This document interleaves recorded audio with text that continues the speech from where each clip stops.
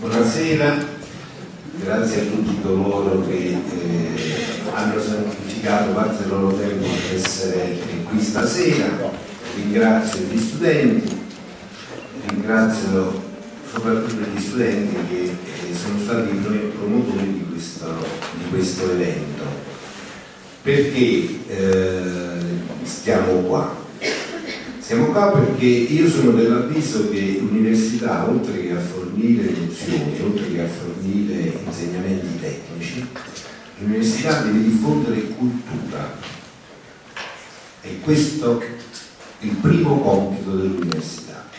Che poi questa cultura venga diversamente utilizzata, venga diversamente interpretata dal medico, dal medico veterinario, da altre figure professionali, questo è un altro paio di maniche ma il principale scopo del docente universitario e dell'università è quello di diffondere cultura, è quello di dare verità.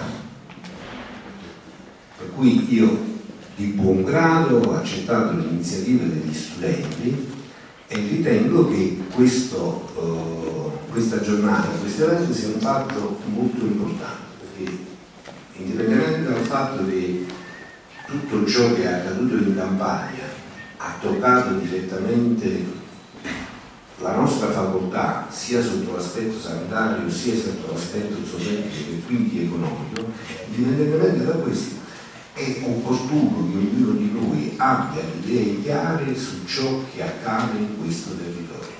E ne faccia l'uso che crede, non vogliamo dire a nessuno che cosa fare, però è importante che si sappia, è importante che ognuno abbia delle idee chiare sugli eventi, in modo che possa utilizzare queste, eh, diciamo, queste informazioni a metodo. Non voglio togliervi altro tempo e passo la, la parola alla dottoressa Terracciano.